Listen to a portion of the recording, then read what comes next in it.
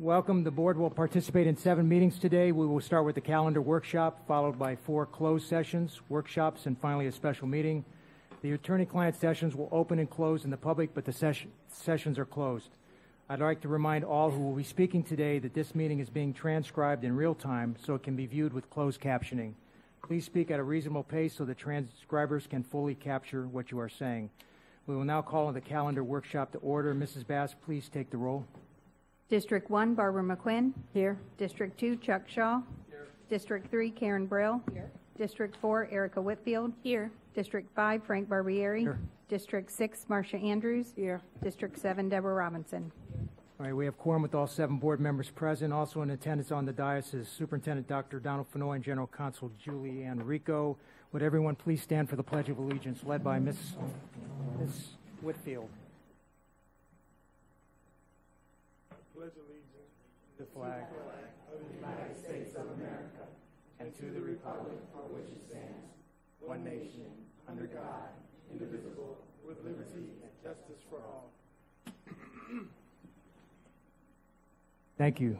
Um, I understand we have several veterans in the room, so thank you very much for your service to our country, and I'm sure we'll be hearing from you shortly. Dr. Fennoy, it's all yours. Going to start with speakers, Mr. Chair. Start with speakers. Okay, we'll get the speakers first.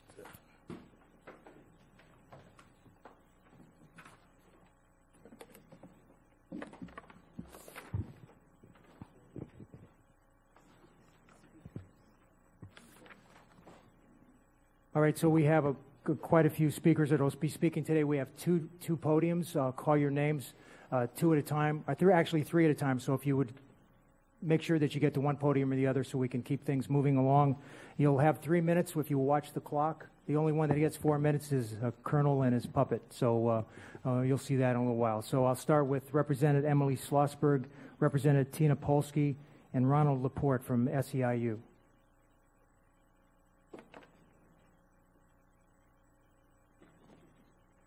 Good morning, Chair Barbieri, school board members. I'm Emily Slosberg. I'm the state representative for House District 91, which runs from Boca up to Boy- up to Boynton Beach.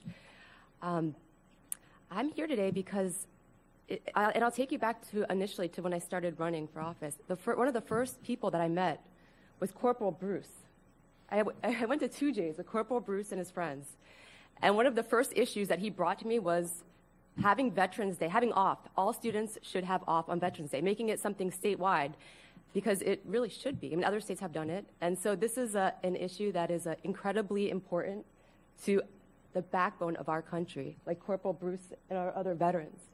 Um, so I'm here speaking in favor of having no school, not even a teacher workday on Veterans Day, because this is something that is celebrated family wide you know, the family wants to be together, to be off, and there's no reason we need to have teachers at school on Veterans Day or anybody at, at the school. It should be off. So, with that, I would ask that you kindly take that into consideration. Thank you, Representative Slosberg. Representative Polsky. Thank you very much, Chair. Thank you for hosting this workshop to discuss the important issue of the 2020 school start date. I am very proud to be the state representative for District 81, which covers the areas west of the Turnpike in Boca, Delray, Boynton, Lake Worth, as well as the three cities in the Glades, Belle Glade, South Bay, and Pahokee. In my first term as state representative, I focused on multiple public education issues, including a bill to raise teacher salaries, and fighting hard against the very troubling legislation that we face with respect to private school vouchers, bonus structure, and the Guardian program.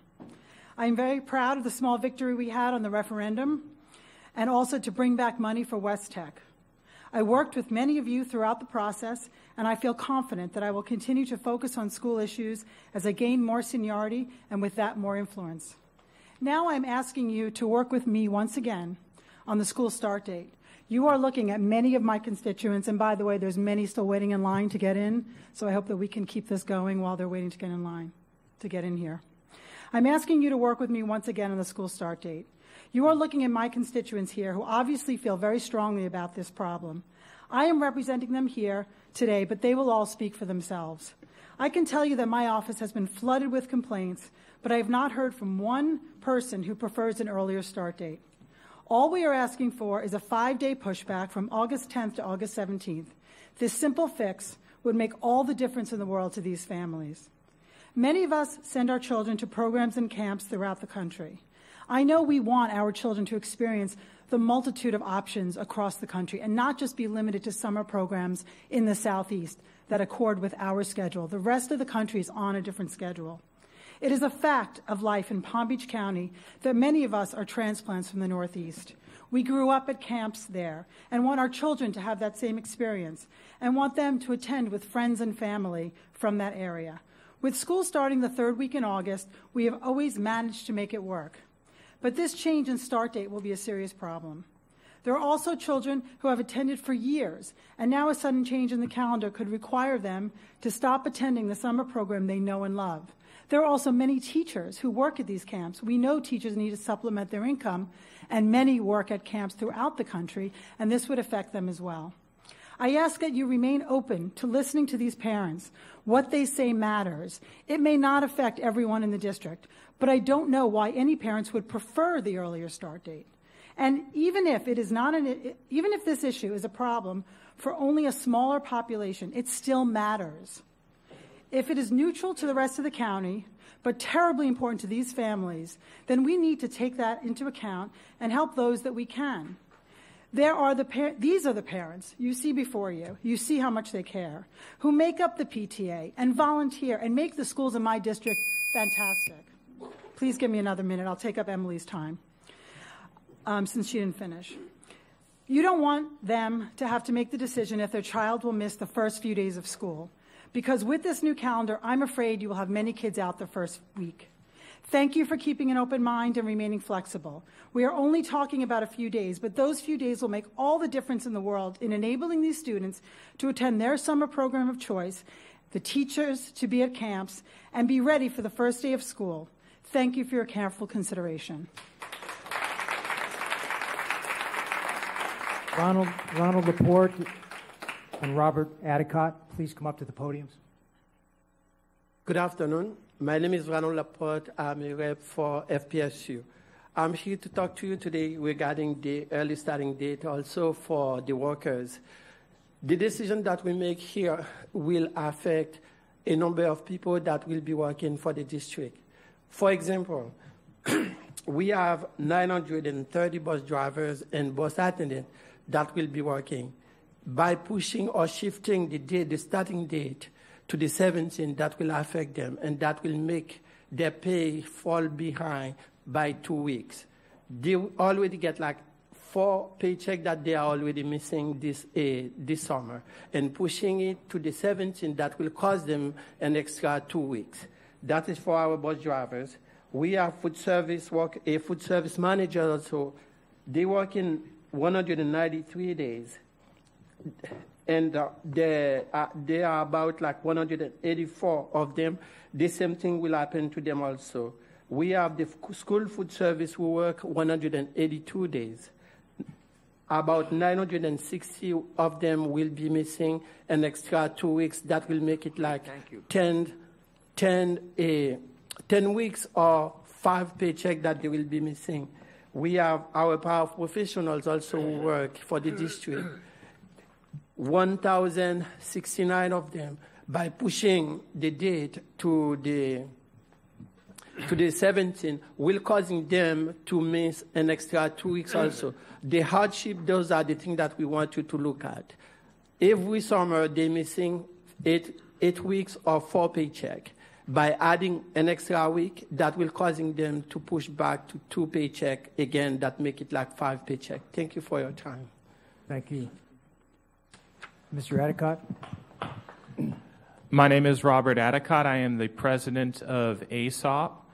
And just like um, my colleague Ronald over here, um, my bargaining unit is affected by um, the uh, later start date, if that is considered. Um, we are looking at over a thousand employees, which is more than half of my um, bargaining unit. That includes our community language facilitators, our school monitors, and our paraprofessional ones. These are some of our lowest paid employees in the school district, and missing a paycheck can be financially devastating, especially for some of the employees that are um, heads of household. So I would, um, if you do decide to um, continue and move forward with a later start date, please put in a mechanism that will ensure that they do not miss their paycheck. Thank you. Thank you. Corporal Richards will be next, but before he speaks, would Jim Napoli, Post Commander for Veterans Affairs, please come to the other podium? Um, if with the board's consent, I, I told Corporal Richards he's got a GI Joe with him, and he wanted three minutes for each, and I told him that we'd give him four minutes. So if, if you have for the hundreds of hours he's volunteered in our schools, if you're okay with that. So would you set the clock for four Thank minutes? you. Good afternoon, and thank you for my time. I'm Corporal Bert Richards, and please understand this humble 89 year old veteran. My comments today are not to be considered disrespectful, but from my research and factual uh, information. The post that appeared before the school board in 2010, myself, Commander Ralph Shearer, Commander Charlie Epstein, who have passed on, would be happy to know that their efforts are still intact with the closing of the Palm Beach School on Veterans Day, November 11th, and for every year there forward.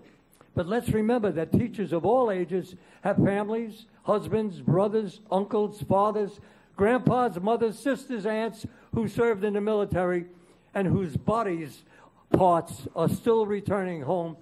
Every day is Veterans Day, is a day to honor those, and the teachers have a pathway to success, and to deny a teacher time off is shameful.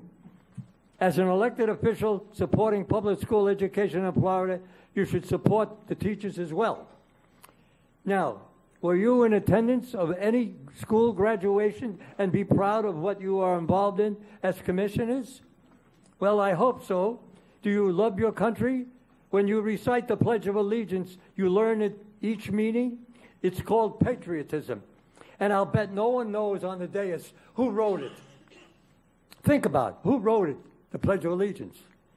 As stated in your superintendent, and I quote, I understand my education has forever changed the life trajectory, and that is why every decision I make as a leader is in the best interest of the children.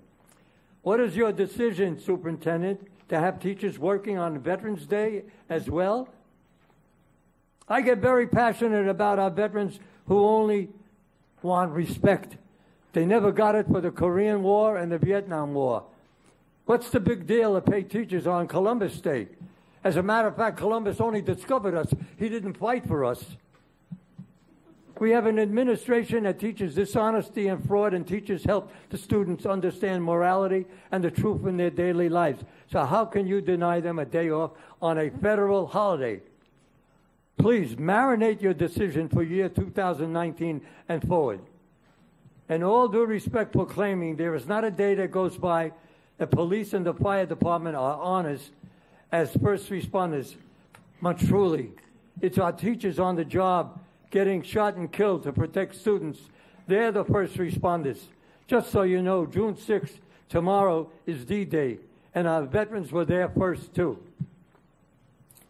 Now, I'm going to let Corporal Bert Richards is turning the microphone over to G.I. Joe.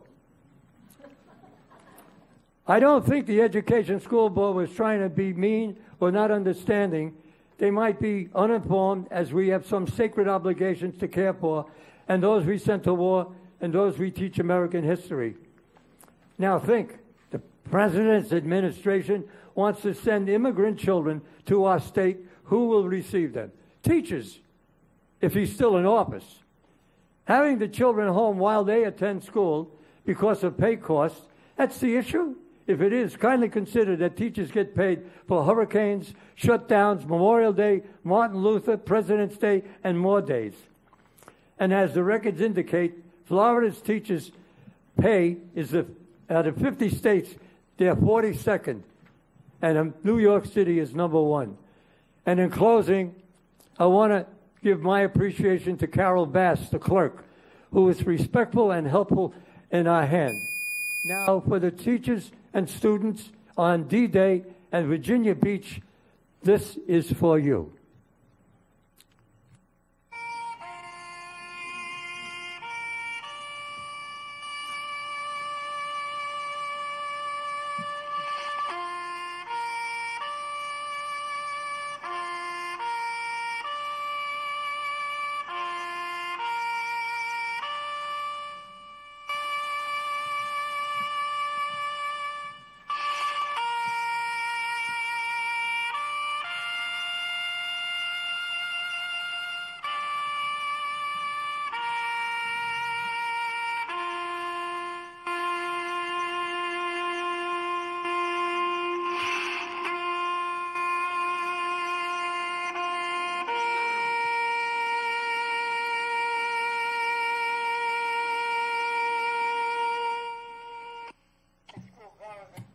I thank you and respectfully hope you have the right decision for our teachers.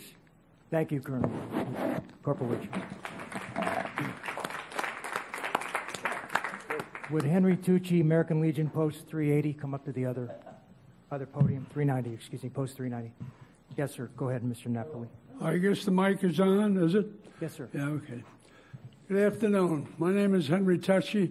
Oh. I'm here representing American Legion Post 390 of Wellington. Unfortunately, our commander was not able to be here this afternoon. He had other engagements. So I got the duty. And I'm here to reiterate our post feelings on this matter of closing the school on Veterans Day. We feel very strongly that the schools should be closed. I mean, tomorrow's the big day, D Day. Now they talk about draining the ocean because there's so much still under the ocean. I know you're all aware, a lot of you are in the service, the same as me. But those guys, if it wasn't for them, most of us wouldn't be sitting here today or standing, right? They're the real heroes. What are they dying at two, three hundred a day? Go down to the honor flight and watch, like I did last week. Okay? It's something to see. And uh, myself, for myself, I strongly feel that these kids today, they're not taught history. They should even be taken out to the cemetery, the National Cemetery out here, and watch a funeral. I buried quite a few. You know what it's like to carry even women, wives, carry them to their to their final resting place. These kids don't know anything. There are some, the Boy Scouts and the Girl Scouts, but overall, it's not being put out there. In another 10, 20 years, I don't know what this country is going to be, seriously. I really, I have five great granddaughters, and my God, I worry about them. I think it's something that you should all consider. It's a solemn day, Veterans Day. It's not a, a day to run down, down to Macy's or Lowe's or someplace. Of course, they got a sale. That's a lot of crap. It should be revered as a solemn day to honor the veterans that fought for your freedom. And I'm not going to stand up here and use up three minutes. Bert did a, a hell of a presentation. But I got to tell you, I know some of you are in favor of it and some are not. I'm trying to get to the point where we can sway you people that want to keep the school open. It Shouldn't be open. Everybody should be off. The cops, it's a, it's a federal holiday. It should be closed. And that's about all I have to say on that. And God bless you for your thinking and taking care of these kids. Thank you. Thank you. Would all of our veterans in the room please stand, be recognized? All of our veterans in the room, please stand. Let's all recognize them by standing, please.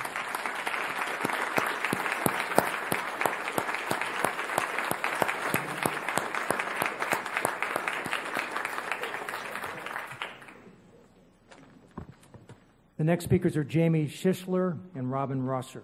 Would you please come to the podium?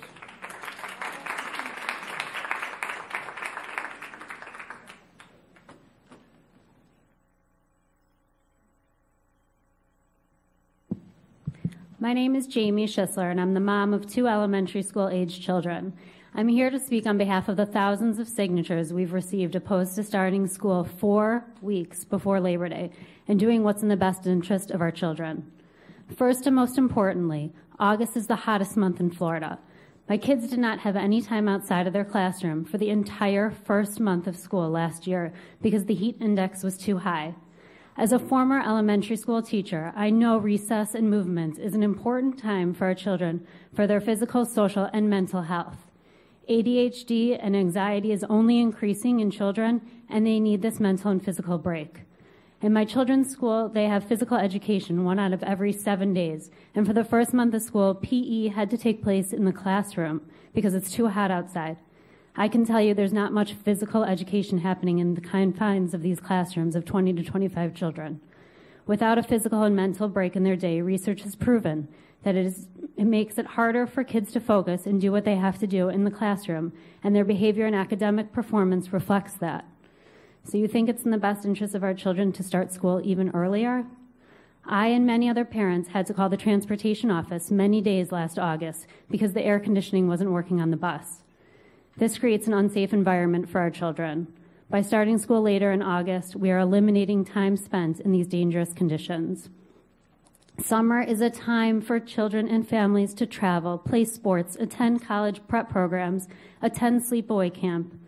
With our calendar in Palm Beach County proposed to start now four weeks before Labor Day, children and families will have no longer be able to attend these activities that are so important to a child's development. Our children spend all year taking tests, reading books, writing papers, doing homework, and learning in a classroom setting in the summertime they can actually get out and have hands-on experience about what they're learning about in the classroom. August is a time when businesses are slower, and it's time for parents to take off work and spend time with their children. The earlier and earlier start date puts us more and more out of sync with the majority of the country. A significant amount of children in the Palm Beach County attend sleepaway camps up north, where they have bonded with friends and counselors from other states and other countries and have amazing experience of learning how to be independent and try things they could never try at home. If school starts on August 10th, thousands of students would either not be able to attend these summer programs or they would miss the entire first week of school. I've spoken to many of our hardworking teachers who unfortunately do not earn enough to take their well-deserved break for summer. Many supplement their income with summer employment at these sleepaway camps up north. The proposed start date will no longer allow these teachers these employment opportunities. You are not only affecting the children, but also the teachers. We have heard the reason that school starts so early is because there needs to be 90 days in the semester before winter break. The past school year, there was only 86 before the break. Two years ago, there was only 80 days because we missed days from a hurricane. It seems we are trying to cram 90 days of learning into a calendar that just doesn't fit. Many people are asking how many other states ranked well above us in the nation seem more capable of educating their students without requiring midterms to happen before Christmas break. It's time to change our schedule. We don't need the entire week of Thanksgiving off. This creates a huge burden for working parents. It creates a huge burden for working parents who have to figure out how what they're going to do with their kids in their daycare. Mrs. Schisler, you need to finish up. I didn't realize. No problem. I have t- two lines left. Why not add those days back on the calendar to have a later start date? Two weeks and two days off winter break is ridiculous. Some educators will say this is even too much time off and a huge interruption in the school year. If there's not enough time to learn information for the first semester before the break, make the winter break shorter. Have a day or two of review, a week or two of review in January, and then administer finals. Ms. Schisler, you're out of time. I'm Thank sorry you we for have your a time. Thank you. Robin Rosser and Jonathan Burns, please come to the podiums. Before we start, I just want to say thank you to our veterans who are in the room, and they do, do deserve the day off. My name is Robin Rosen. I'm a 1993 graduate of Spanish River High School, a 1997 graduate of the University of Florida. My entire education from the public school system. I'm a mom of two children, elementary and middle school in the Palm Beach County Public Schools. I'm an admitted mom of two kids who attend sleepaway camp in the Northeast. And while that does matter, it is not the main focus. But I do want to spend about 20 to 30 seconds reading you some quotes from kids ages 7 to 17, both boys and girls, on what a summer at Sleepaway Camp means to them. Everything. My happy place. A chance to make memories we can't make at home. Break of the stress from the day. Be outdoors. Learn leadership and positive behaviors. This is my favorite. In my life, I wait 10 months for two months. Camp is my home, and if someone makes me leave early, I will kick them. Sleepaway camp means everything to me great fun, doing outdoor activities. It means I don't use my electronics for seven weeks. I talk, I do things with other kids. I am outdoors, I am participating in things. These are important things for children. Sleepaway camp means a home away from home. It is a chance to be with friends, unplugged. These kids spend seven weeks unplugged, no electronics. That's important. How many people in this room can say they spend seven months, seven day, seven minutes unplugged these days? They write letters, they talk, they gain independence. Palm Beach County is very diverse. No matter what someone's summer plans are, they are entitled to have them, and for those plans to be aligned with family and friends in other parts of the country and the world. Whether they're going to the lake camp, Canada, Europe, South America, just being with family, that's their choice. No one told us when we were little that we couldn't have our summer plans because our school calendars were way more aligned with everyone else than we are today. It affects our residents no matter what their kids do in the summer. Many people here today will speak about the summer heat, the number of days before and after winter break. Thanksgiving, for the record, I think is ridiculous that we have a week off. We're the only district in the state. Christmas break, all of that. Let's talk about two things. Our teachers, our teachers, our teachers. These people who are overworked, underpaid, they need their summer to be aligned with the rest of the country to earn additional income. They are not able to do that if this calendar continues the way it is. As a realtor, I want to focus on the fact, whether people like it or not, the Northeast is one of the biggest feeders into Palm Beach County real estate and the economy. Builders are putting money into our economy, our schools, and all we are hearing, I know there's many familiar faces in this room. People are reconsidering moving here and coming here. They are looking at our neighboring counties to the south. Their calendars are much more aligned. This will affect our real estate values in Palm Beach County moving forward if this calendar continues the way it is. There are so many simple and easy solutions to push the start date back. I know you have all thought of them. You don't need me to repeat them. It just needs to be done. I want to end with one last thing. I want everyone sitting in front of me to think about it. When you were children, who told you to leave your family and friends and start school four weeks before Labor Day, the unofficial end to summer? Someone told you to start school in early August, what would you have done? What would your parents have done? Well, here we are today. Thank you for your time. Mr. Burns, before you start speaking, Beth Miller, would you please come up to the other podium? Beth Miller. Go ahead, Mr. Burns. Good afternoon. My name is Jonathan Burns. I am the proud father of two young children, elementary school age. I'm here on behalf of my family, my hardworking wife, and the many other hardworking parents who could not be here today because this board decided to schedule this meeting at 1 o'clock on a Wednesday after school just ended. For many local and national businesses, June is the busiest month, whereas August is the slowest month. So, therefore, August is the best time to spend quality family time with your kids, whether that's going to a local park, going on a road trip, flying away, whatever the income level is, whatever it is that you can do with your kids, it's that family time that bonds families. This board is asking families to not have as much of that important family time. Some of us can't get out of the office for a week, five days, eight days in July. Some of us can't do that. I own my own business. I know that August is the easiest time for me to spend with my family. This board is asking me not to spend that time with my family. August 10th is the middle of the summer. We keep talking about lining up with the rest of the country. That is real. August 10th, that is four weeks before Labor Day. We've also mentioned the heat. Ms. Schisler put it very succinctly as it relates to recess. I don't want to even see what these teachers have to deal with when my kids don't get to play outside during the day. We are also dealing with school buses. I was, I, I'm also a public school kid, went to the University of Florida. I've ridden on those school buses. It is hot.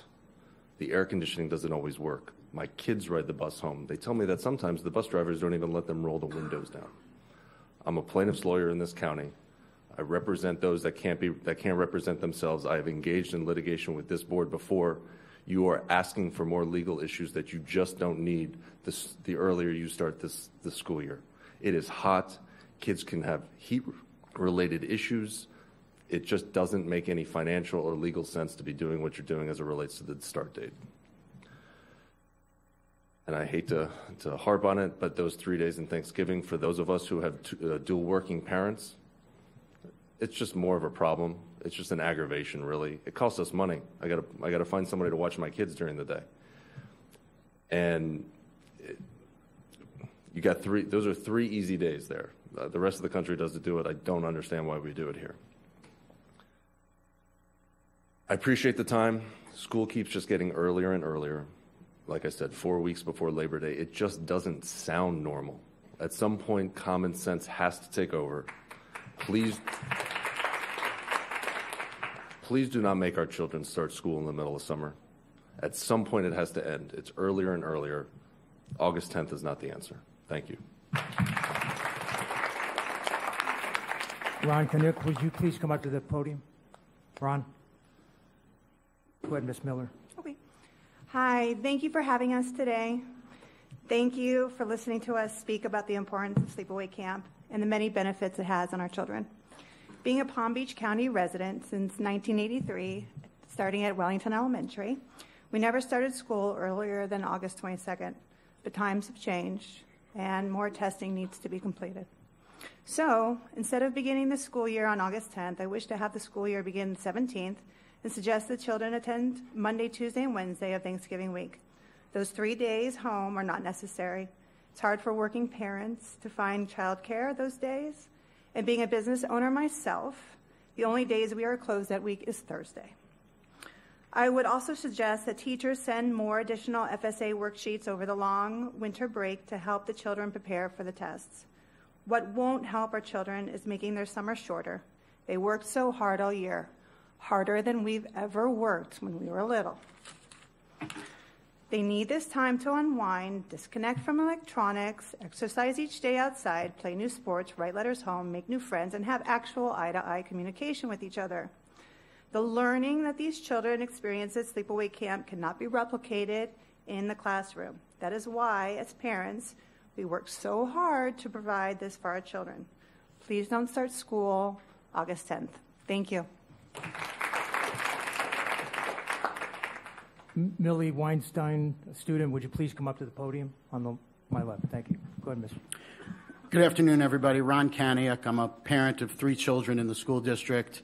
Um, some of you know me from conversations we've had about rezoning issues. This room is only full when parents are upset with stuff that's going on. The school board and the um, superintendent do a great job, and, and it's only when, when we're upset about decisions that are being made that the, that the room is full. And this is one of those issues. Um, I could echo all of the comments that people have made. Um, I've read through the presentation materials. Um, what I don't understand, and, and, it's absent from the materials, is how Broward starts on August 14th, on how Miami Dade manages to start on August 19th, um, what they do in Charlotte and DeSoto um, on August 7th and, and year round is even crazier than what's being proposed here.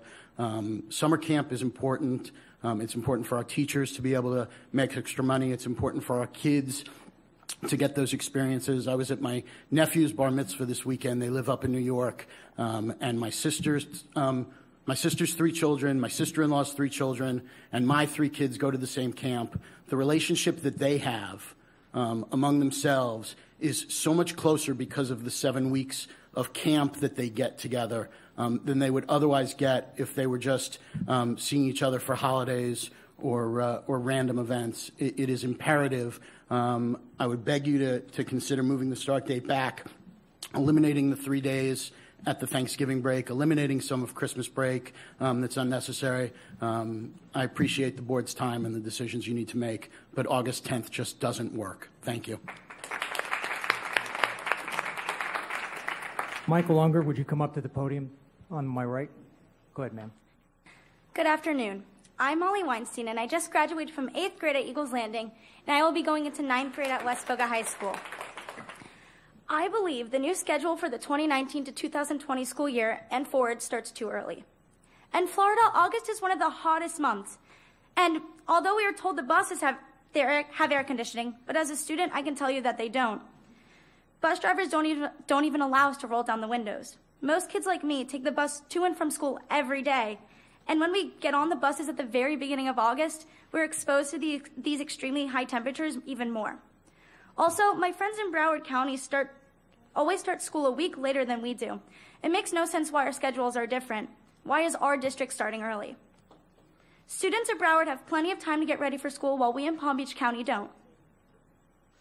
And although it may not seem important to adults, kids, especially around my age, treasure the time that they have to get away and go to camp. All kids that go to camp live by the saying 10 for 2, meaning we wait 10 months of education for the amazing two months of camp.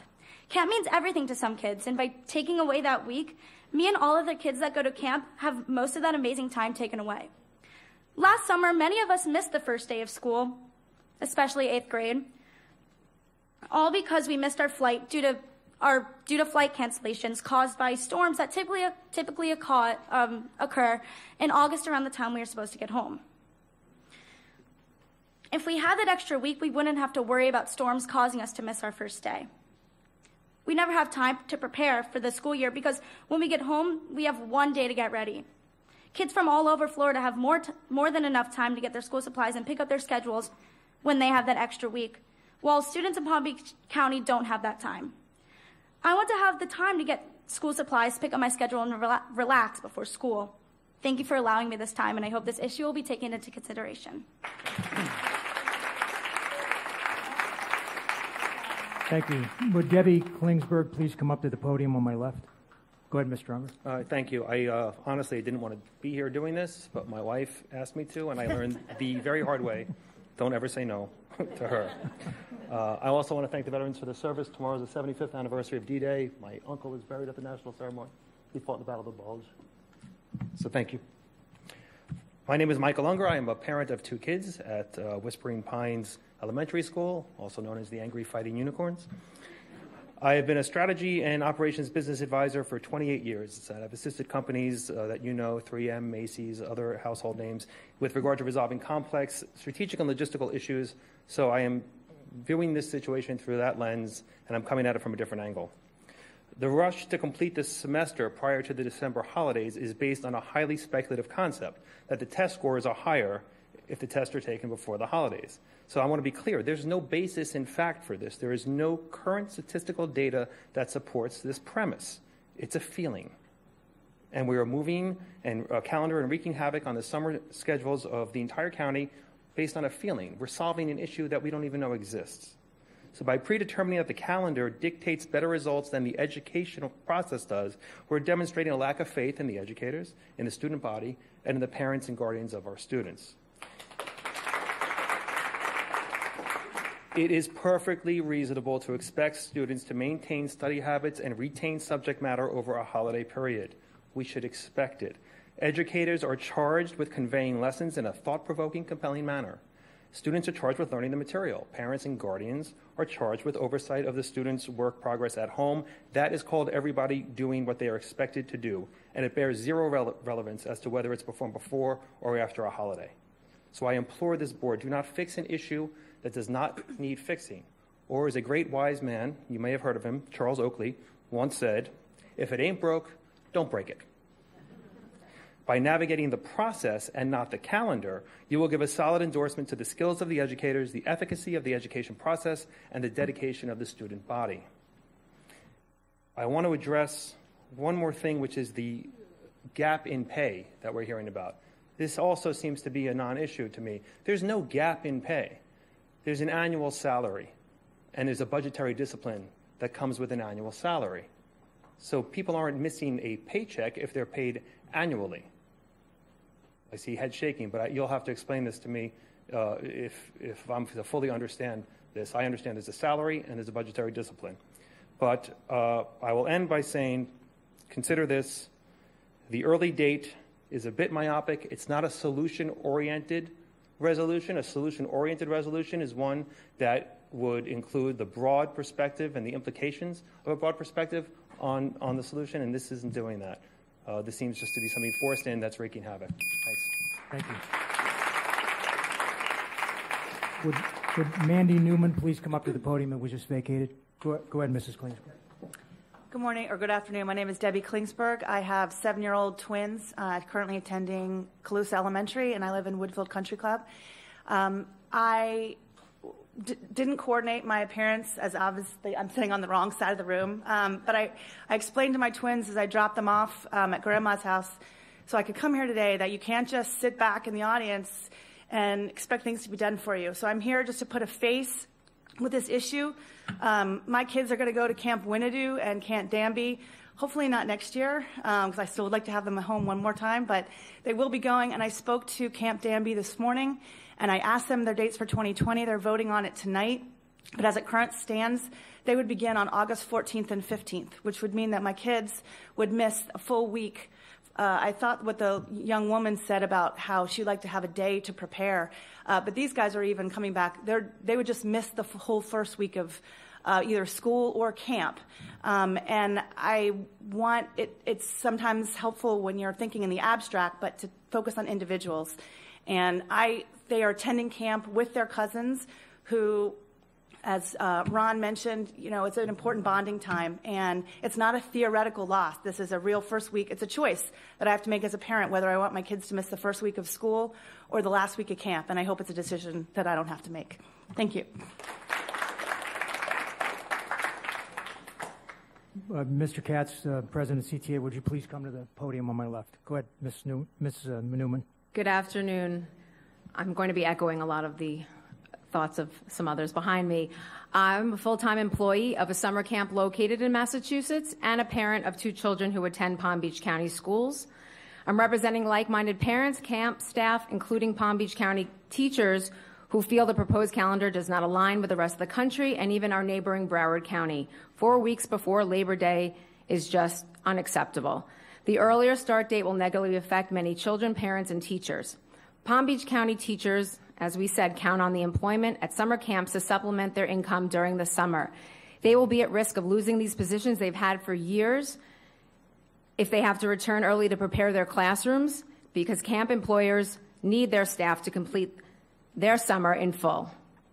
We believe it's way too hot here in Florida to be on school buses that are not always functioning, as we've heard. Children cannot go outside for recess in mid August, which is imperative for these children to have a break from their, from their learning time. The relatively new Thanksgiving break, in my opinion, is excessive and has also become an inconvenient for parents who are working. They have nowhere to send their children, and it's just, as I said, excessive. Again, it does not line up with the rest of the country. We appreciate you considering the later start date of August 17th for this coming year. Thank you for listening, and thank you for the veterans that are representing today. Ma'am, ma'am, before you leave the podium, ma'am, ma'am, just, ma'am, I know your name, but you didn't say it. I need it on the record. So. My name is Mandy Newman. Thank you very much. Okay. Mr. Katz. Good afternoon. My name is Justin Katz. I'm the president of the Palm Beach County Classroom Teachers Association, the teachers union here in Palm Beach County. Um, so I'll try to run through these rapid fire because there's a couple different issues, and I want to make sure I convey my position as a leader of the teachers in Palm Beach County and express that, that my desire here, and if anyone's ever heard me talk, is usually to try to find some compromise or middle ground and not punish or harm any one party, um, which, which some of the statements or recommendations that I heard uh, so far today absolutely would do, which is, a, is an issue. Uh, first and foremost, with regards to Veterans Day, we fully support and have always supported having that day off for our educators. We have a large number of veterans in the classroom and in the schools, uh, so it only makes sense. So obviously, we support that becoming a holiday, not just a workday for teachers, but a holiday for teachers and employees of the district. Um, with regards to the start date, I've heard a lot of people reference what teachers want. I haven't heard any single teacher, and I represent over 7,000 of them, weigh in on the start date. I think the teachers are completely unconcerned about the start date itself. They are very concerned about the implications of the start date. Um, and as you heard from some of the other bargaining units, some of the lower paid, um, income earners, they would literally uh, have to wait an additional two weeks to receive their pay. So that there are implications to the start date. I don't have a personal opinion. If you cannot have these negative consequences occur and start the school year later, that is the compromise solution. I support the position of the people who have come here today but not if it comes at the expense of thousands of employees. So, first and foremost, to those other bargaining units, because it's my understanding that the pay gap would likely not affect teachers so much. And while teachers are on salary, some of our lower paid employees are not on salary, so it would absolutely create a two week void in their expected income. Um, with regards to the test, the midterm test after the Christmas break, the winter break, uh, that is a line in the sand for teachers, especially high school teachers. I don't know if there's statistical evidence, but as a high school teacher for the past 12 or 13 years, and you could ask any high school teacher if you hold those exams after winter break, you might as well cancel them. It is a waste of time. There is momentum that builds throughout a semester and culminates in those tests. And if you go and you have a two week break where kids are trying to relax, they come back, you start the second semester with a week of review of content that was taught over the past four months. There's a two week vacation gap, and then you hold those exams. I can tell you firsthand. Ladies and gentlemen, you had the respect of nobody talking, so be quiet. Go ahead, Mr. Katz. I can tell you firsthand that it, you might as well cancel them. I know that this is something that Dade does, but I don't see at the bottom of Dade's presentations top performing urban school district in Florida. We're the highest performing school district. I don't want to copy an inferior district, no offense to Dade, but we need to hold the line on that semester. I've heard that the Thanksgiving break should be on the chopping block. I agree. That was a gimmick that was implemented two years ago to help with recruitment. We have a new gimmick. It's called the referendum. $10,000 is more of a recruitment tool than three days before a holiday. Uh, so the Thanksgiving break, you know, that's the easiest low hanging fruit. Um, it's just you can't mess with the end date for the semester because it will absolutely affect their test scores. And I know that nobody likes to highlight that test scores are an impetus for decisions we make, but that is the reality. Teacher pay and evaluations are based on those test scores and student performance.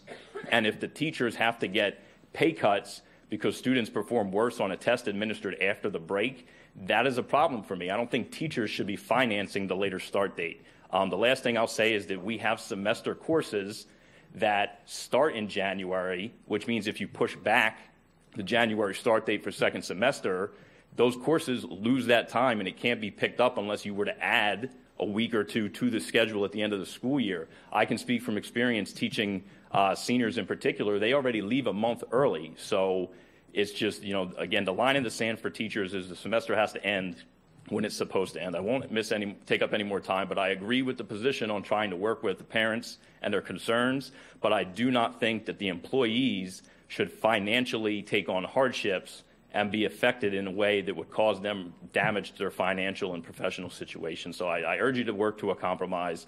Um, I don't think that the, the pain on this should fall squarely on employees of the district. Thank you.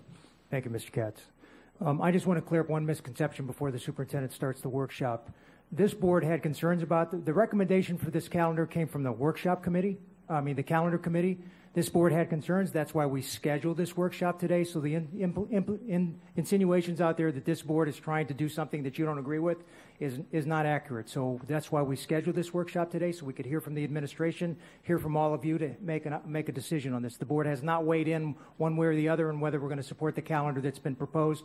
That's what today is for. So, Mr. Superintendent. Yes, at this time, um, considering what the chair said, we will be conducting a workshop uh, for the board to hear the recommendation from the committee. Um, but the, to, to the chair's point, the board is not voting on anything today. This is just information for the community at large. At this time, I turn it over to the committee associated with the calendar.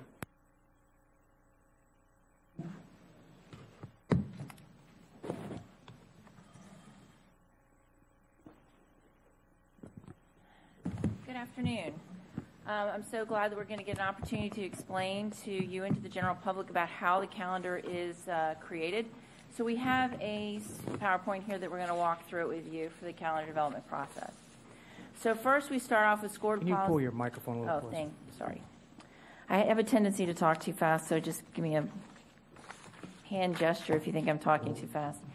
Um, School Board Policy 2.35 requires that in the spring of each year, the board's going to be presented with a calendar for adoption.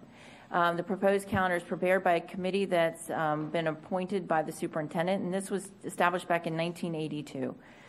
The committee consists of the following people, and we've contractually bargained um, some of these members. Like CTA has three representatives, ASOP, SEIU, Staff Association, all have representatives on the committee. We also have representation from, an, we have at least one elementary principal, one middle, one high. We generally have also PTA representatives. We contact the, the PTA reps for the county and they submit someone to attend. School Transformation Department has a representative. Payroll, Employee and Labor Relations, our FTE, school reporting, they all come to these committees, and we've recently added um, Eric Stern, who handles the graduations, and he's been attending these as well. So the committee um, approves a recommended calendar that's presented by staff, and that, or they can create one for their own consideration, to be quite honest, but we come up with calendars and then we pass them along to the school board. So this is kind of a balancing act, and I tried to think of a good analogy, and I couldn't really think of one that really matched because it's just there are so many moving pieces to this. It's almost like you're walking a tightrope and you have that big pole, and the, the pole is really what's best for our kids, right? Because that's what we're here for. So as you add things to either side, it can skew it and throw the whole system out of whack. So some of the things that we have to do are in Florida statutes and rules. So under Florida statutes, we can start no earlier than August 10th.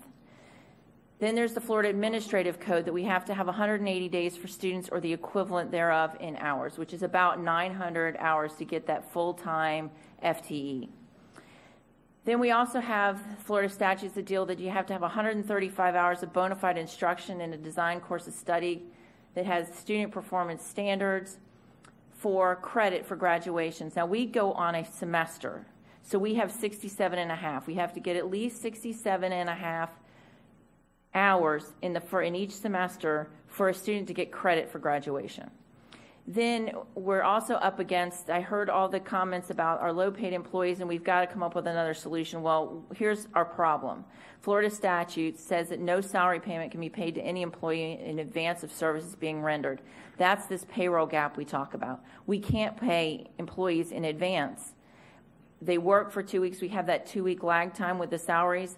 For our bus drivers, moving uh, the calendar back when they talked about it, it's a, instead of it being an eight week gap that they usually have in the summer, that would be a 10 week gap. Um, we fall into more problems when it's the teachers because it's a much larger unit. But that's the payroll gap, and we're kind of handcuffed by Florida statutes there. As for Veterans Day, we'd love to give Veterans Day as a paid holiday. I myself would love to have Veterans Day off. My problem is Florida statute says that we only get six paid holidays. So collectively bargained, we have teachers are guaranteed 196 duty days, six of which are unassigned paid holidays. For the SEIU, FPSU, which are blue collar unions, um, the only group that's guaranteed a certain number of duty days that we have to consider is they get 182 they get, do not get paid holidays. Any of our employees who are less than 12 months do not get paid holidays. And to give them a paid holiday would have to be collectively bargained. And there is a pay, um, a budgetary impact to that because once you give one, why aren't we giving six? So again, that's with ASOP as well. It's only 12 month employees who receive a paid, um, paid holidays. So generally, here's what we're having to balance along with what's best for students we have started on the second Monday in August for years. Going back to about 2003, there's some gaps in there where the legislature made some changes to the law about when we could start. That's the only time what we've deviated from this practice. Teachers start a week earlier than that. After every nine weeks or trimesters, we have what's called, you'll see on the calendar, a duty PD day. For part of our teachers, if it's the end of a nine weeks, our secondary teachers are getting what's called a duty day, in which they can input grades and finish up their grading, call parents, that kind of thing. For the elementaries at that time, they're getting professional development. Then the reverse is true at the end of trimesters. We've contractually agreed to this with CTA. It's not in the contract, but it is a past practice that we have had for as many years as I can uh, remember that they have these gaps so that they can get the work done they need and that we can push out professional development to make them the best teachers that we possibly can. So the holidays for students and teachers are generally Labor Day. We have two fall holidays, and that's how some districts are getting away with starting later, is there are two fall holidays. We don't give off religious holidays, but these happen to be when we schedule the fall holidays, they're Rosh Hashanah and Yom Kippur. So there are districts who do not do that, and that's two days that they can add or take away from the start of the school year. We have Thanksgiving break, winter break, Martin Luther King Jr.'s birthday, spring break, the uh, spring holiday, and Memorial Day. What throws into problems is what we're going to see in the 2021 calendar is elections. When we have elections, the supervisor of elections and our chief of police would prefer that we're closed. If we have that many people on campus, particularly in 2020, what you'll see on the calendar, we didn't anticipate the primary date. That's a date that's going to have to come off, and we're going to have to find another space in first semester for that, which would be August 25th. But we do have to look at the elections and primaries of when those are. Veterans Day, we have traditionally given Veterans Day off, at least for students, every other year. We polled the municipalities. We only received um, input from 16 of them. Of the 16 municipalities that responded as to what are they doing for Veterans Day, only eight of them are having it on Veterans Day. The rest are having them on the weekends before. Um, of the eight that are having on Veterans Day, only seven of them are during the workday. One of them is at sunset, so it would be after school. So the, the idea that there's events that they could go to doesn't really hold water given what we've heard back from the municipalities. We also need to maintain a hurricane buffer. The most active time we have for hurricanes, according to the National Hurricane Center, is between mid August and mid October. So, to avoid hurricane season, we really can't, unless you wanted to have summer be from August to October to avoid the, the, the most time when we're going to get hit with a hurricane. That's the only way to do it. Um, we also have to have first semester exams prior to winter break, as you heard from Mr. Katz. Um, we floated this idea at the high school principals meeting, and there was not a single high school principal who thought this was a good idea to move those back. So we do attempt to the best of our ability to get a 90 day spread 90 days in one 90 days in the other it's just not really possible given the number of holidays that just naturally occur in the first semester we're always going to be off but we do have to try and get that. And then adding on top of that, that payroll gap that we discussed. So looking at the 1920 calendar, this was approved by the calendar committee and it was actually approved by the board back in 2017. We brought it back to the board in April of this year because we noticed we had heard the veterans, they wanted Veterans Day off. We noticed that there was one of those duty PDD days, happened to be the Friday before Veterans Day. We asked that we swap it so that at least the students would be off for Veterans Day in um, November of 2019. And then that really doesn't involve this conversation, but there was another error that the 10 hour, four day work weeks we have in the summertime, it went an extra week that should have not been there. So that's why we brought it back to the board um, this April. The approved start date for students is August 12th. This is the second Monday. It's, it is um, one day earlier than last year and it's two days earlier than Broward, but the, um, the approved last date was May 29th. It has an 84-95 split of the 179 days.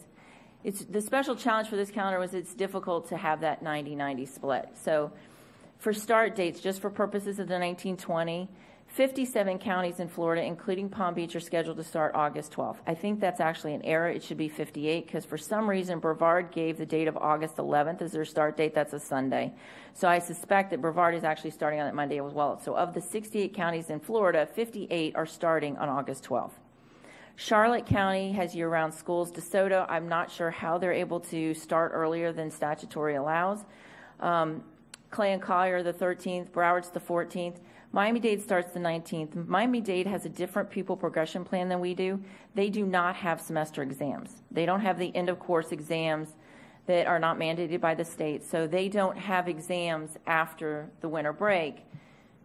They also don't give that 67 and a half hour window for semester credit. What they do have is they'll have an exam, but it weights no heavier than any other exam.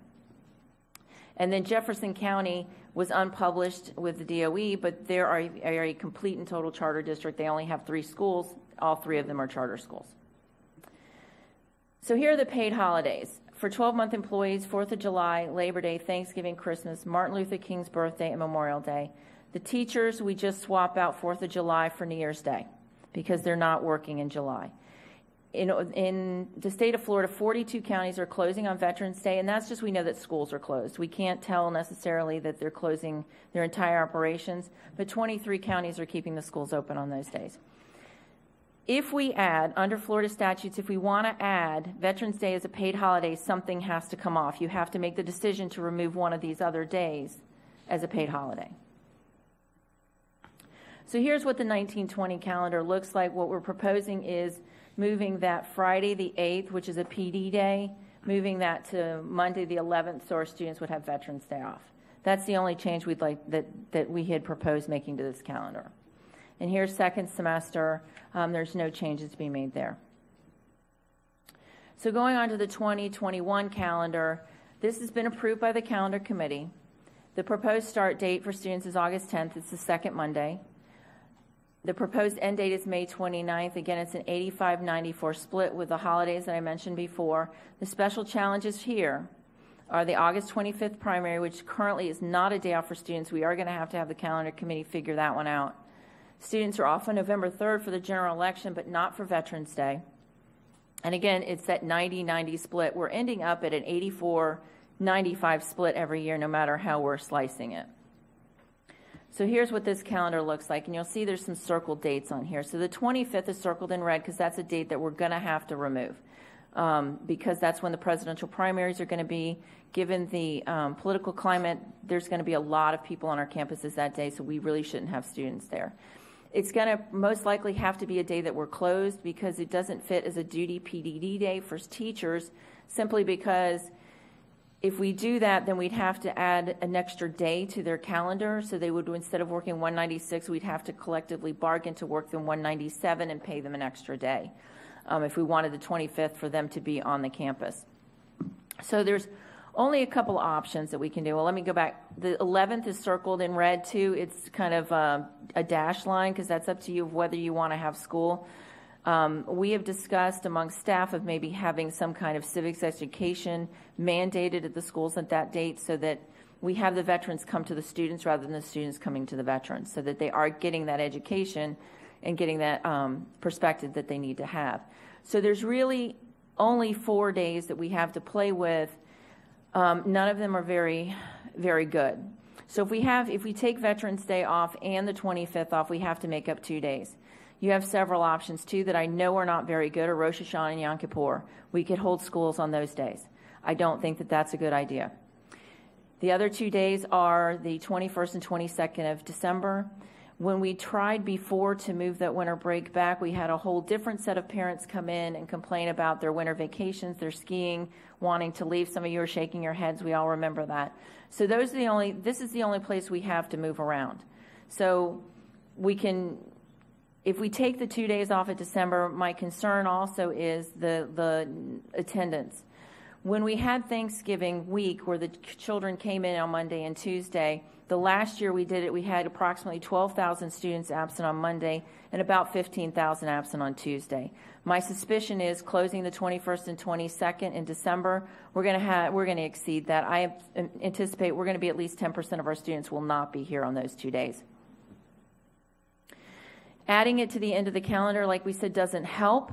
It helps adding additional days the second semester, but it doesn't help with first semester.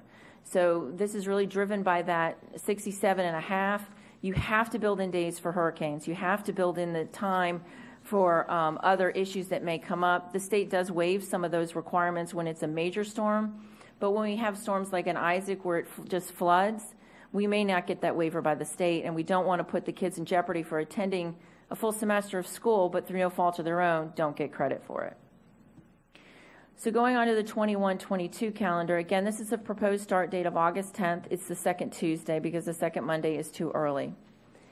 This ends on May 27th. Again, it's an 84-95 split.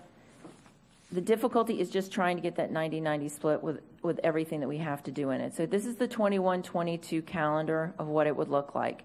If you want to move school back a few days, we could possibly do that. But again, you're going to cut into the December break, or you're going to have to lose Rosh Hashanah or Yom Kippur, just because those are the those are the days when you lose a day that has a phone on it.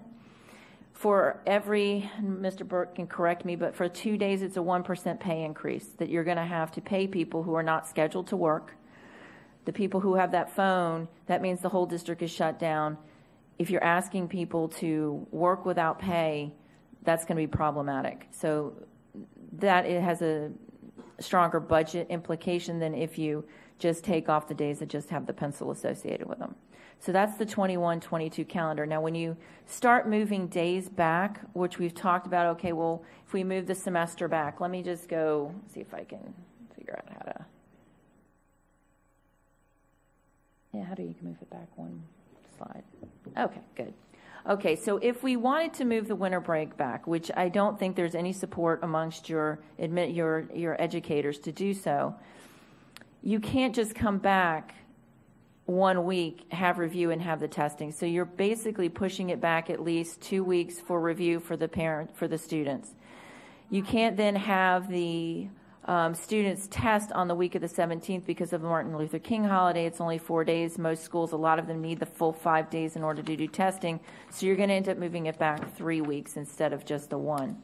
The other issue that you're going to run across is when you get to the end of the school year, if you're just adding a few days, you're going to have Memorial Day, and then you're going to ask the students to come back, what, one day or two days? Again, you run into that absentee issue and we really only have the kids for 179 days, and we really should be maximizing the education that we're able to provide them.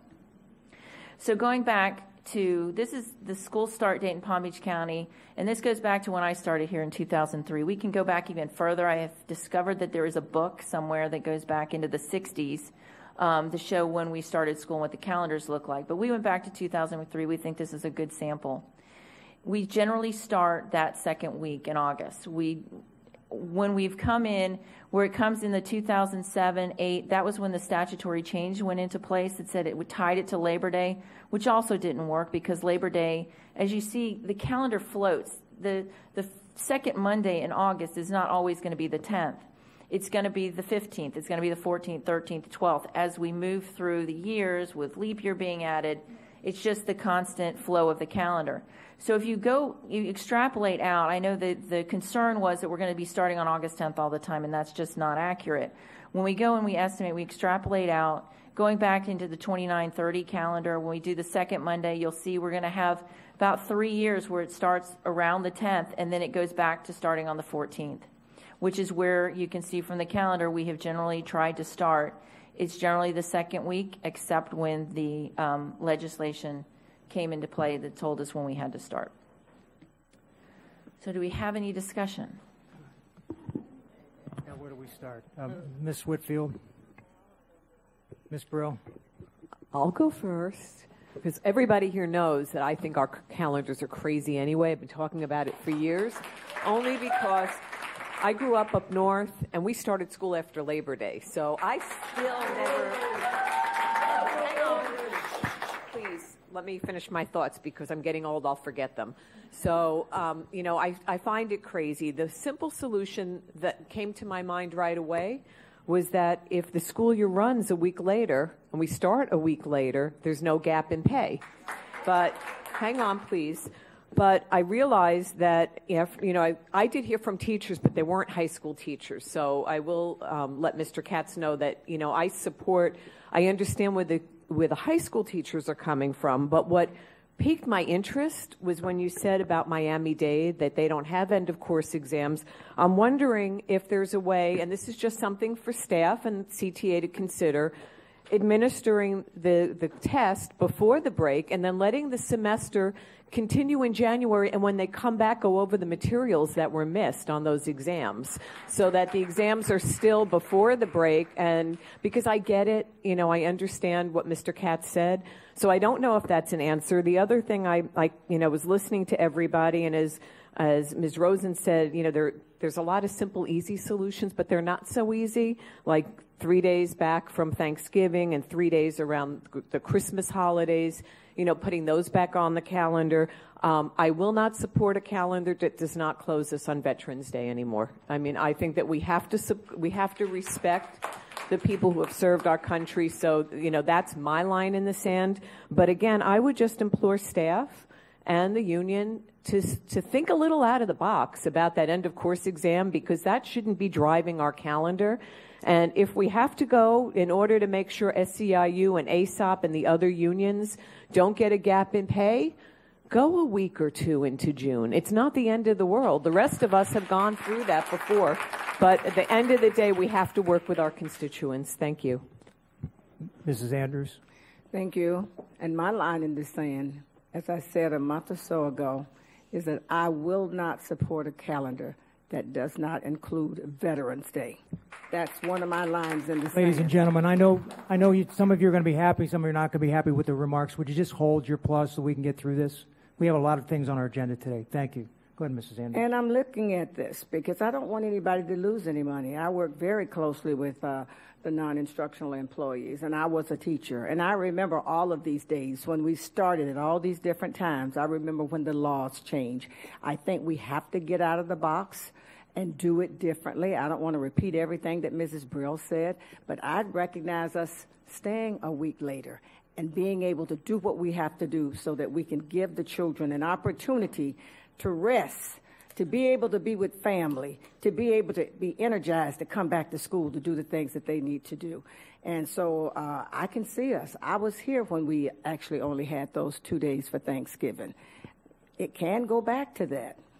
I, I remember all of the times we fluctuated with this to meet the needs of the students. So I just think this is really cut in the sand, uh, the way we've done it based on what we've done for years, but we've got to get out of the box and think about how we can do it a lot better so that we can represent all of our families here and also to let everybody know it's truly important that we uh, make sure that students and families are heard and that we really do our job and due diligence to make sure that we can put those days back in. I'm not interested in taking out our fall vacation and spring vacation days. I know the semblance of those days. That's truly important. But I think we can maneuver this.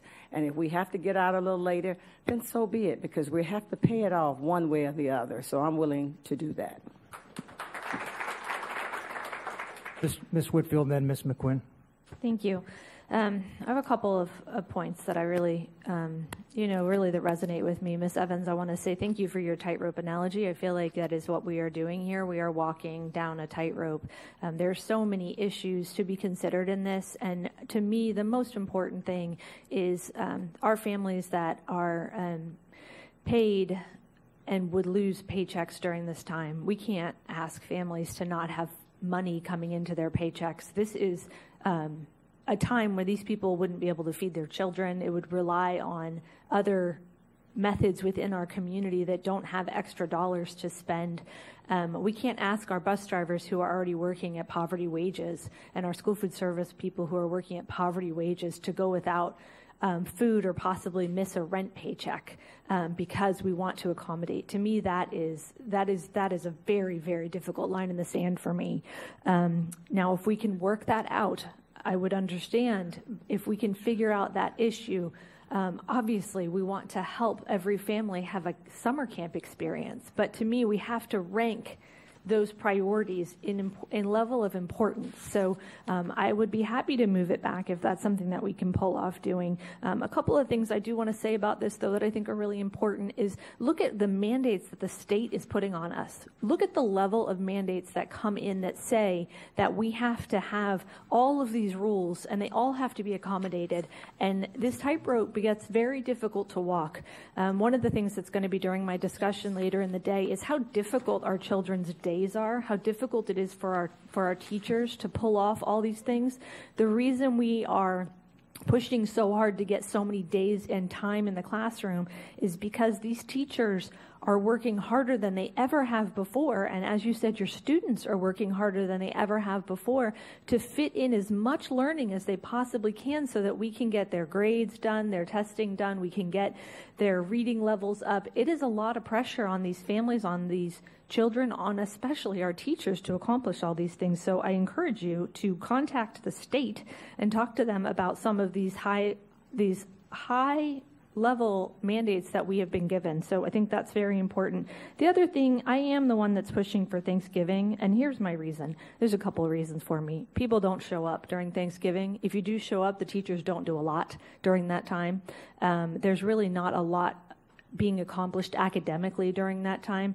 Um, as they said, the attendance levels are not great. And I just hate that I hear people leaving on Tuesday nights and Wednesday mornings and, and stuck in so much traffic. We don't have to do that to you all. You, you can have your vacation there too. So to me, that's a lot of families that we really have to consider the safety of trying to get everybody on a plane and flying them to New York for a Thanksgiving holiday too. Uh, the final thing I want to mention is Rosh Hashanah and Yom Kippur are not acceptable places for us to change dates. Um, to me, I, the the respect that we have to give to our Jewish community um, is is really high. Um, it just I, I, wish we did holidays for every one of our um, of our religious groups within the community, even if we call them fall holidays. Um, that is that is a, um, a line I just don't think we should cross either. Um, I have a lot of issues with the idea of other communities that don't um, that don't give those days off, um, and and what it says about respecting the community groups. So um, those are all of my thoughts. I would love to hear something along the lines of what Ms. Brill had said. Um, but I think that this is an emotional topic, and I think we have to put a little bit more thought into it. Thank you. Mrs. McQuinn. Thank you. So first, I agree also about continuing to give days off for Yom Kippur and Rosh Hashanah. Um, I also agree with Veterans Day, holiday for everyone. Although I do want to put in a caveat here from my own observation.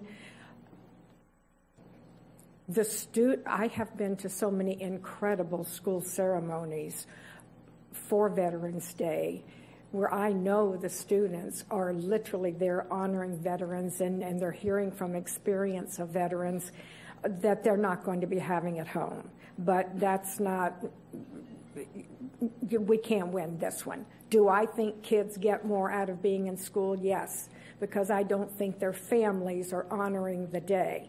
But if I had to vote now, yes, I would agree that we get the day off.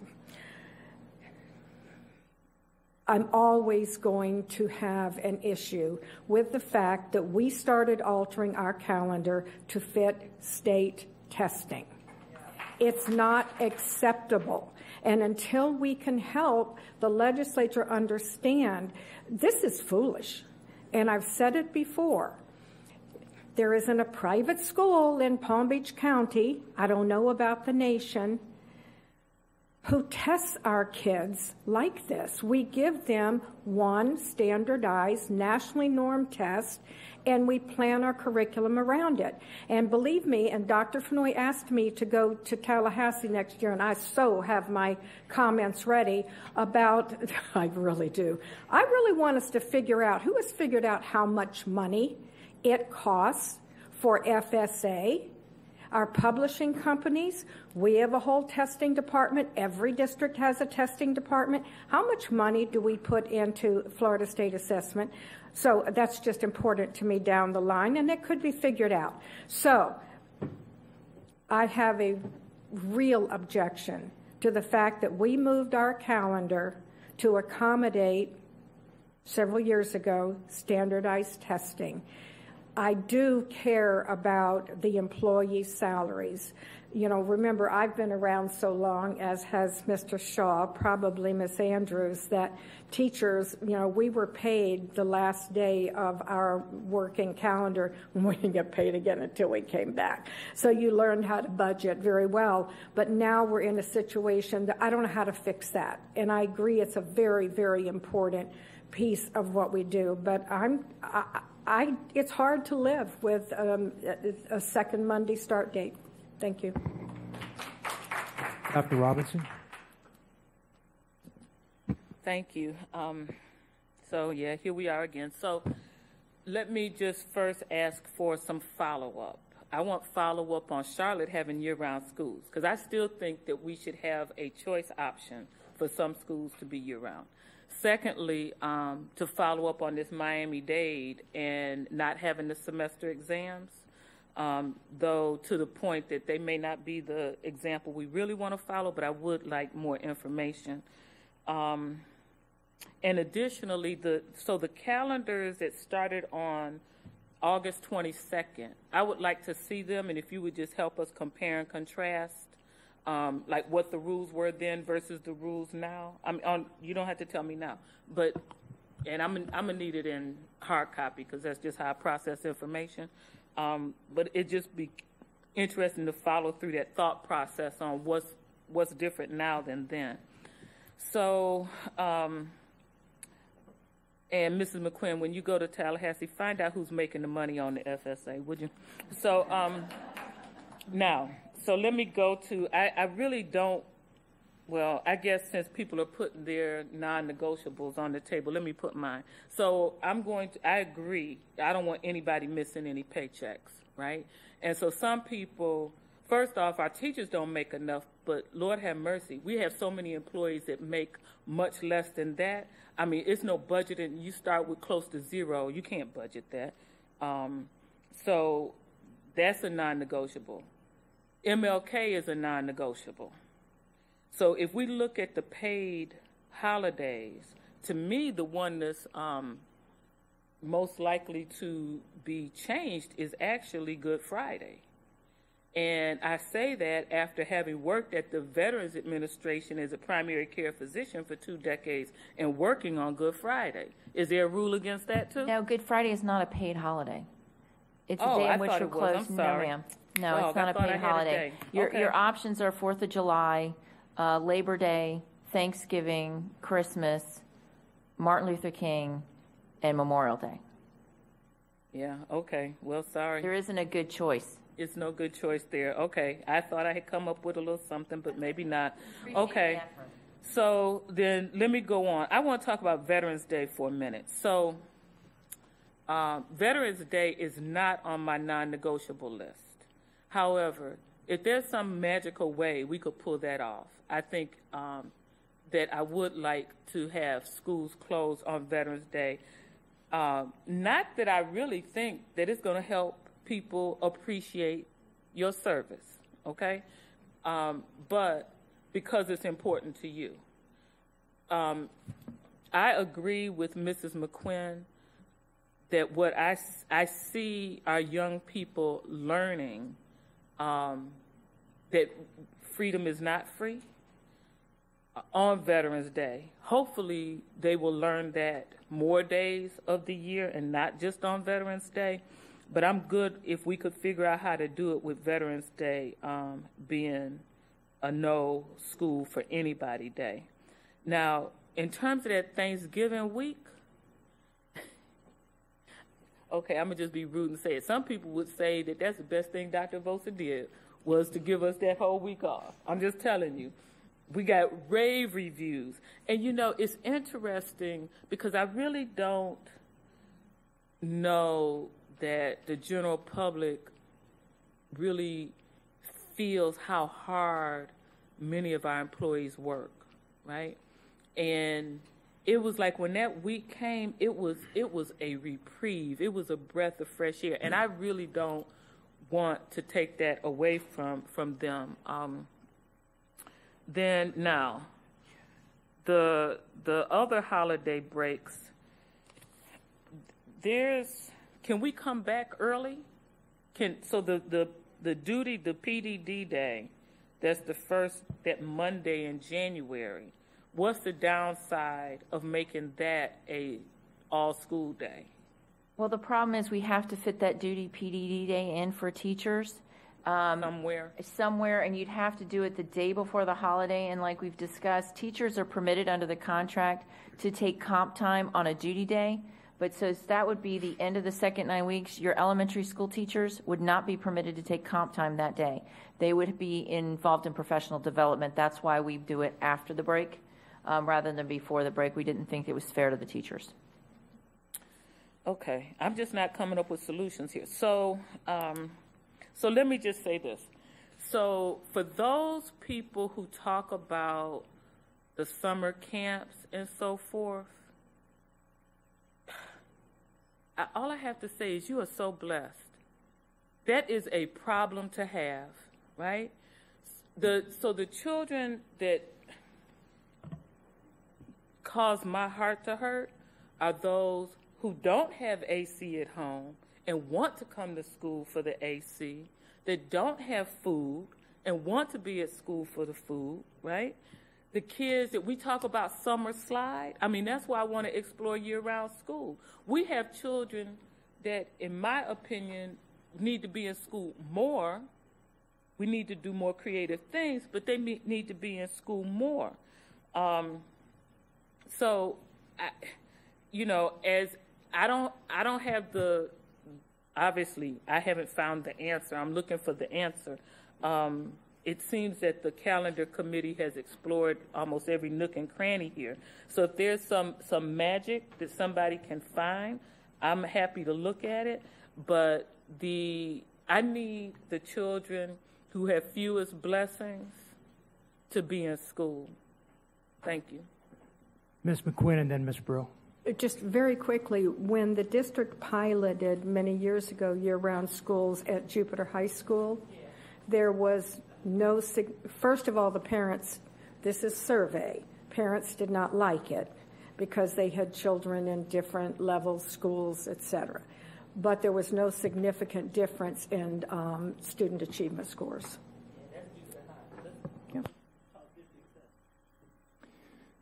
Ms. Brill.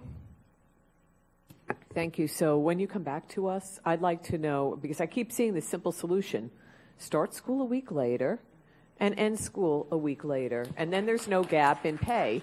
Um, but as far as and I and I understand what Dr. Robinson's saying about the children, you know, um, that that don't have opportunities, but I do know that we have camps that do offer no tu- tuition-free programs. I went to sleepaway to a Jewish Federation camp where my family paid nothing because we didn't have any blessings. I know those schools, those camps still exist for people, but the bottom line is you know, if we could get through this whole issue about the semester ending, if it has to do with the testing, if there's a way to administer those tests, before, you know, earlier, before the break, so that there's no negative impact on the teachers and on the students, and then just start a week later, end a week later, then there should be no gap in pay.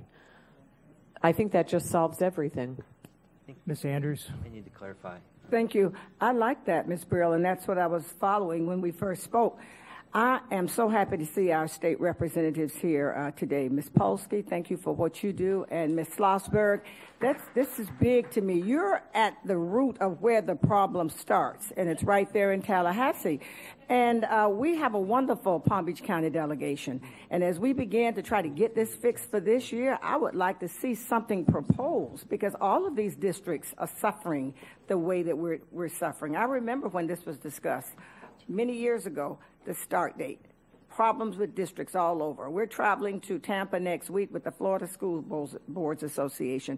This is something that I'm going to bring up to them as one of the issues that we need to put back on the table with the legislature. So I'm asking you to make it a priority with all of our representatives from our um, our uh, school board delegations out there, with our Palm Beach County delegation, legislative delegations, from all of the superintendents associations. We're all together in a few days, begin to talk about this issue because it's going to come back again and we want to get it solved. And as a result, it is about the overtesting, and we have to come together as leaders to stop it and stop it now. So if you can take the lead on that for us, Mrs. Slosberg and Ms. Polsky here, and I know all of the other delegation members, they need to be made aware. It is a problem that school districts all over the state of Florida are having to suffer through, and we need to get fixed. And a lot has to do with overtesting. So thank you. Ms. Evans.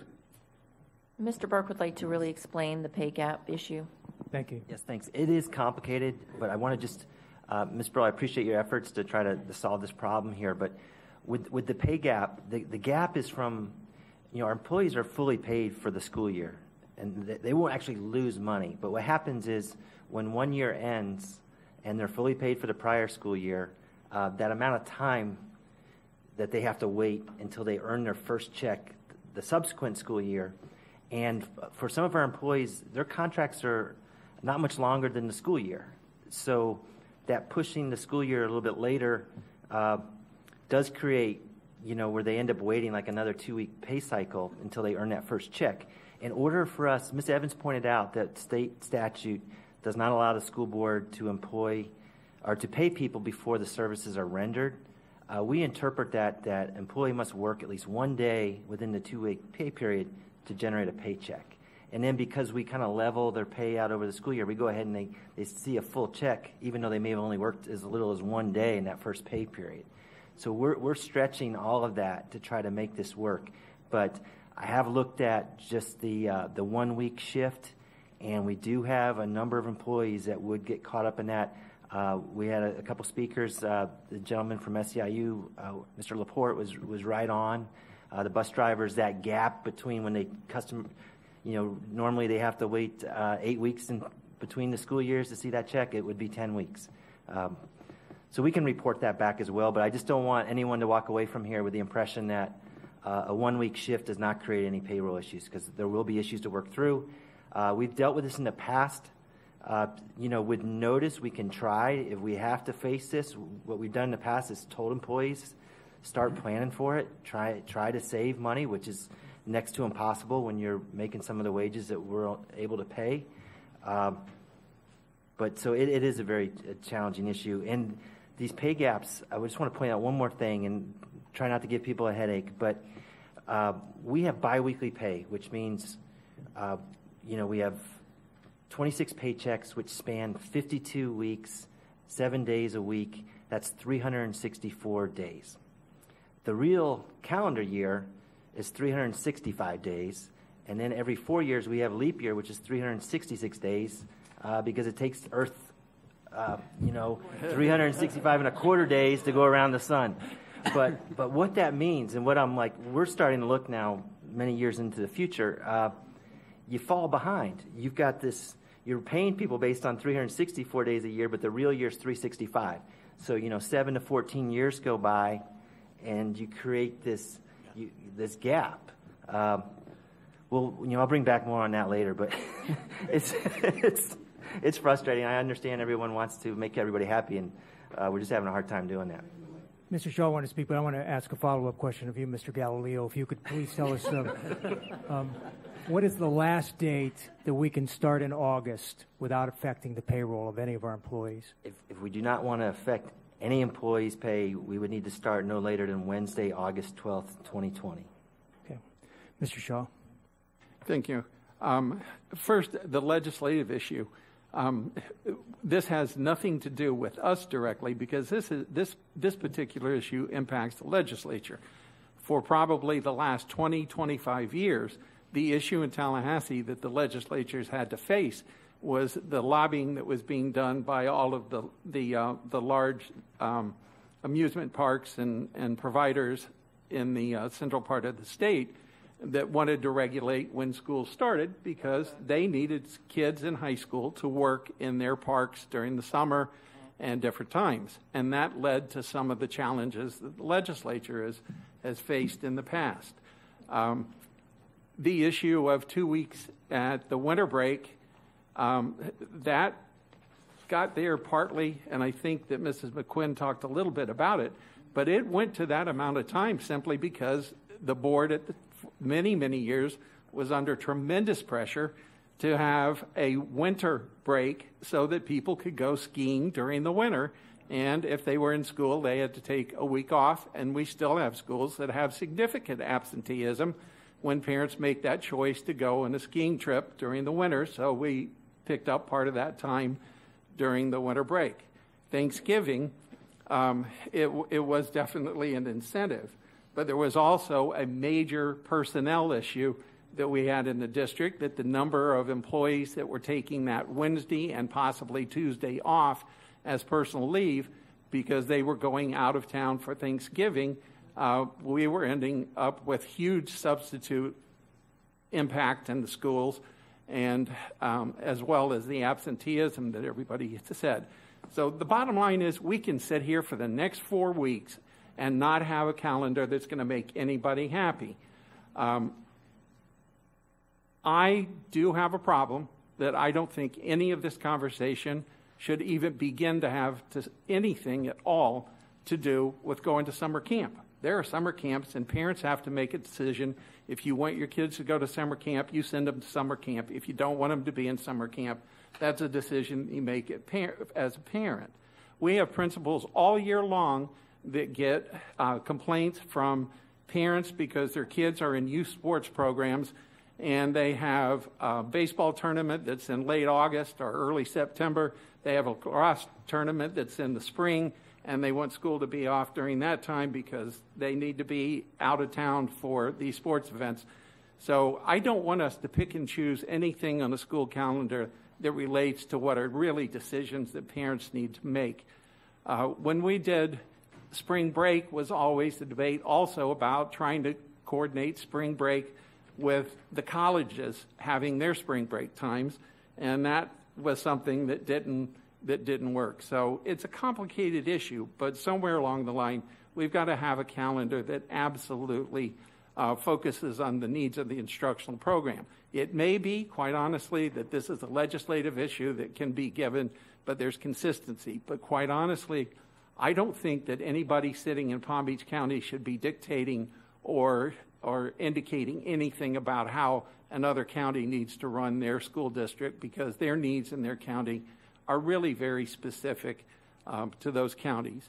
And, uh, you know, it's a thoughtful issue, it's something that's emotional.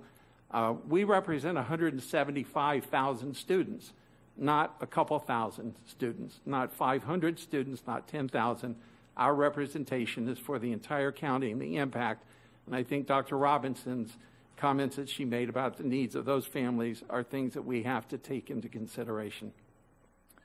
Dr. Robinson, you had a follow up question? A comment? Uh, yeah, thank you. So, just to follow through on Mrs. Brill's suggestion and um, and Mr. Burke's comment. So, the the issue is if we did that shift, it would just be the first year that people would miss the check. In subsequent years, it would it would cycle properly, right? If I'm understanding this, that's what I want. You, to your understanding is correct. Okay. And uh, in subsequent years, way down the line, we could have an issue regardless of what we do with the calendar, just by the, the virtue of biweekly pay and that point I was trying to make about the sun, the, the 364 versus 365. Right. Right. Okay. And so, well, the other thing is um, that I, I see that the, the rules about 180 days don't appear to be as in concrete as I thought, right? It's 900 hours, or it's 180 days are the equivalent in hours. So we have, we're trying to meet the 900 hours. Okay. And that's a relatively, within the last five years or so, legislative change. Because if you go further back, there was a hard 180 day requirement. Uh, we, Okay. Got some flexibility there as long as you're providing instructional hours. You can set the days. You have so more are we flexibility. meeting those instructional hours with with this calendar proposal for each semester? Yes. Or is it year, the total year that we're meeting? For, we have to look at it for each semester. So yes. I'd just like to add, we, we are meeting those requirements. Uh, years past, we met those, and we have a little bit of buffer. We go above and beyond requirements. Previous years ago, we may have had a, a larger buffer. You know, the 180 days was above and beyond. That gives you another full day of school. Uh, that if we have an unexpected closure due to a storm or something, we, you may recall we had latitude. We'd be shut down for a few days with a hurricane or what have you, and we'd say, look, we don't necessarily have to make up those days because we had this X number of hours above and beyond the state's requirement. Uh, that margin's getting narrower, and going from 180 to 179 days did basically erode one day of cushion that we've enjoyed in the past. Okay, and just to complete my thought here, so, uh, but the other thing, so to the idea of taking exams before the holiday break and then essentially calling the end of the semester after the holiday break, um, while I think that's worth consideration, it it troubles me uh, because there's less instructional time. And while we're talking about these exams in terms of the impact on adults and on the school district and school grades, it also has an impact on the children taking them, right? And I mean, I'm just imagining when I was in med school, if I had, you know, two weeks less to cram for the test, or you know what I mean? I mean, I'm just saying, we, for me, I'm gonna think about those things. Um, so somehow, if we were to do that, it to me it's a budgetary impact in terms of making sure we have got your attention, huh, Mr. Burke? I saw you. So it's a budgetary impact because we would need to make sure for the children who are not so fortunate to have all these other learning experiences that we in, we have investment in some creative um, learning opportunities for them before the test that's going to impact their life, right? Um, and so it's not just about it's not just about us and school grades and all that stuff. That's that's that's a reality. But I'm just looking at the children's point of view, um, and so I just want to make sure we keep that in mind if we end up essentially decreasing instructional time before the almighty test. If I may, we did discuss that. Um, we looked back to answer your question about the when we started August 22nd. There was the exams were given at the end of January, is what happened. It was a one year. It was, from what I can understand, the principals, the students, the parents despised it, and it went back the next year. There's some new. I found one newspaper article going back to when they created the new calendar for 2008, 2009, that that it was it was an experiment and it didn't work. I just follow up on that real quick? Yeah, quickly. Cause I was a parent then. well, I'm still a parent, but I was a parent of students in the public school system then. And I, I do remember that whole, like, you can't really chill out over the holiday break, right? You got to not forget what you learned so that you can continue building before the almighty test, because the test impacts children. Ms. Whitfield and Mr. Shaw. Thank you. Okay, don't crucify me. I'm literally, we're workshopping here, so this is my brainstorm of the minute. Um, what if I just did the math on 900 divided by um, 180 and it's only five hours a day? What if we just extend the day an hour and then we could get rid of some other days? See, don't crucify. I know, just Well, an idea. con- Contractually, under the CTA contract, they can only work seven and a half hour duty days. To do, extend their duty days, um, we would have to renegotiate that, and there would be a significant cost to that. But we would have more days off for them, right? Again, we'd have to negotiate, though, from 196 down to wherever you are with that. Um, There's also some transportation concerns about. Days off. About not just the days off, but the bus drivers are guaranteed 182 days, so we have less days. Um, Again, that's a contractual issue that you may have to impose upon the employee groups. Teachers are the same, you would be limiting their number of duty days, but by increasing their minutes. Like we've heard, a lot of our teachers have second jobs. Yeah. Um, along with our custodials, our bus drivers, when you extend their duty day, um, it can cause some ripple effect in um, teachers being having to choose between maintaining their teaching job that they can't survive on and a secondary job. Um, so there's a lot of moving pieces to that that would take a while to negotiate and probably have to be imposed upon the units. I still think we should think about it. I think there's some, some space there to at least, um, you know, follow it down the road and just see if it is something that could work. Mr. Shaw. Uh, just two quick things. The, the idea of doing instruction after the um, semester exams have been completed, I think if we really think about that, that poses some real serious issues for instruction and everything. So I don't think that that's a, a really a good solution. Um, also, I, I think that's all I'll say on that one. Thanks. All right, so if everybody's finished, uh, I, I just want, um, my concerns are twofold. Um, I want to make sure that our pa- employees don't miss a paycheck. So whatever that pay gap is, you, um, you know, w- we need to make sure that we don't hurt the employees, especially the lowest paid employees. Um, and, and, and the other is that um, um, I- don't have a concern with Veterans Day. Um, uh, like Ms. McQuinn, I've been to programs in the schools where the kids will, if, if, for example, if my grandson was home on Veterans Day, he would be on the computer all day playing video games. He does not going to know anything about Veterans Day. When I was in the schools, we had the veterans come in. There was programs all day. I'm sure that the superintendent could schedule a civics day on that day every year on Veterans Day so that we invite these people in and we have all kinds of programs so the kids actually learn about the veterans and the, and the wars and the civics and all the things they need to learn about. So I have no issue with Veterans Day. I also have no issue with taking them back the two days before Thanksgiving. We can get rid of those. That was a gift that we gave, and sometimes you can't give the gift every year, so we take those two days back. And also the 21st and 22nd of December, people can fly out on the 23rd if they got to go visit grandma at Christmas time, um, so we can get, get those couple days back. So those days, in my, my opinion, are flexible. I just want to make sure we don't hurt the employees, and most importantly, we don't hurt the children. We need to have 67.5 days, I understand, uh, uh, with 67.5 hours in order for them to get the credit for the first semester. So whatever we do, we're in the business of educating the children. You know, whatever extracurricular activities they have, that's fine and dandy if we can fit it in.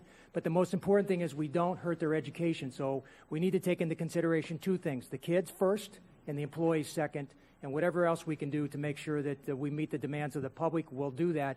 But, Mr. Superintendent, if you can work with your calendar committee and come back to this board with some recommendations that kind of takes into consideration all the comments you've heard today, and good luck with that one because they were all over the place, uh, we would appreciate that you get back to us as soon as possible. Yes, so the her purpose for today was to present information, hear feedback from the community at large and the board. The team is prepared to go back to work with all the unions, and we will we'll bring back our best thinking, and we'll, we'll go through this again. No, ma'am. All right.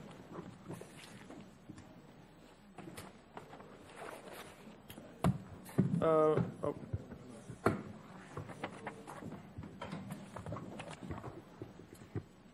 The calendar workshop is now adjourned. I will call the attorney-client session order. Mrs. Rico?